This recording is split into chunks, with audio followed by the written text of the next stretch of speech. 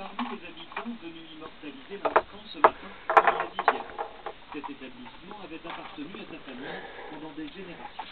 Ma grand-mère euh, a ouvert ça en 1922. C'était une grande de...